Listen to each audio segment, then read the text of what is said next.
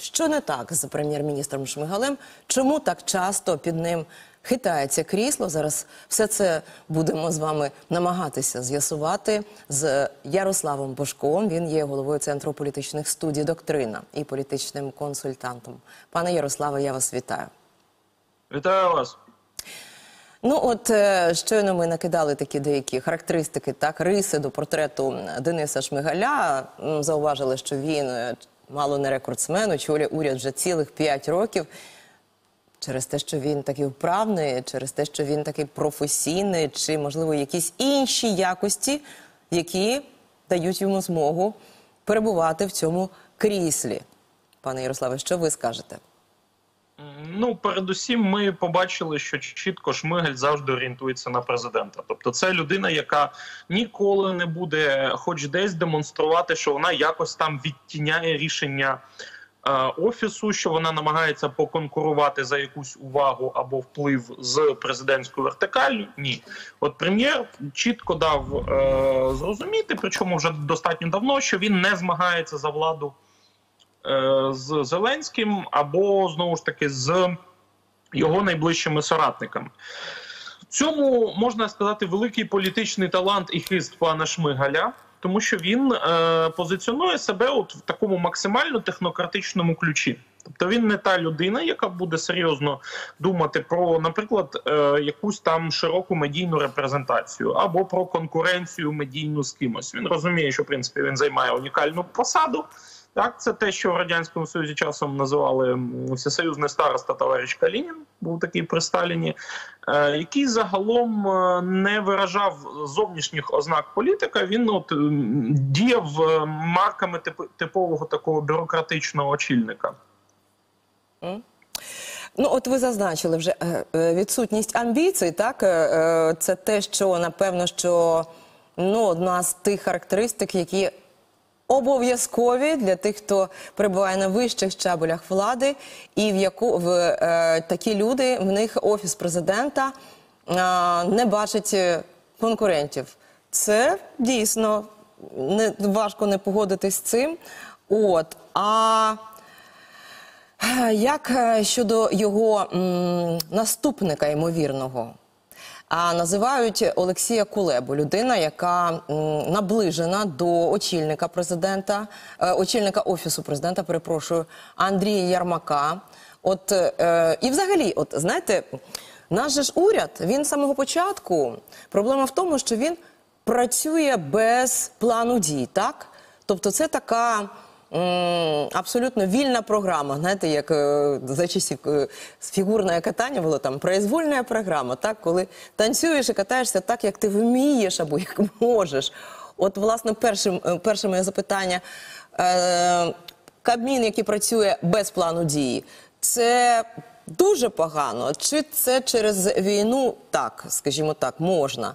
І друге, його наступник, ім'я якого називають Олексій Кулеба. Е, Ну, власне, ми живемо в такій політичній рамці, де єдиний реалістичний план дій у Кабміну це річний бюджет. Ось це усе, що реально Кабмін може е, на такому макрорівні планувати, і все, що він реально зобов'язаний планувати, передусім, зважаючи на високу політичну роль офісу президента. Тому що ми розуміємо, що оця політична функція цілепокладання вона не перебуває в уряді нині, і вона, мабуть, ніколи там і не перебувала серйозно, мабуть, з 90-х років. От з часів, коли, мабуть, з часів, коли прем'єром був Кучма. Е, То вже ніякої серйозної такої політичної ролі Кабмін не відіграє, але він відіграє вирішальну управлінську і господарчу роль. Тобто він е, не, не, не ставить питання, що саме ми виконуємо. Він е, ставить питання, яким чином це буде виконане, те, що вже накреслено там на самому горі. Щодо наступника умовного там пана Шмигаля, це я би назвав це доволі відкритою темою, тому що, по-перше, врахуємо такий досить важливий момент про пана Кулебу і ось цю умовну вертикаль групу Кулеба Чернишов, так яка існувала спершу в офісі президента. Ми не можемо тут однозначно стверджувати, що їх відправили туди в е, кабінет міністрів суто для того, аби вони змогли посісти місце Шмигаля Тому що з одного боку ми усвідомлюємо, що заради цього вони мусили пожертвувати значно більш серйозною посадою, тобто е, посада заступника глави офісу, е, яка дозволяла бути якоюсь мірою ось там. Першій п'ятірці людей, які ухвалюють рішення, і тебе спускають по суті на оцей е, статус людини, яка виконує реальні господарські завдання, виконує їх постійно і постійно му- змушена за них нести відповідальність. Це не виглядає як підвищення. Так, є, звісно, певні точкові історії, коли людину спускають для того, щоб потім кудись перепризначити, як у випадку з, наприклад, паном Сибігою. Але принаймні, от на відміну від е, того міністра закордонних справ Кулеби, якого зняли і призначили Сибігу, то я не бачу, що навколо Шмигаля взагалі згортаються хоча б якісь хмаринки. Тому що, по-перше, як я вже сказав, е, комунікація в нього максимально суха, така високотехнократична, і він нікого намагається не відтіняти серйозно, нікому не кидає викликів, ні до кого не ставить зайвих питань.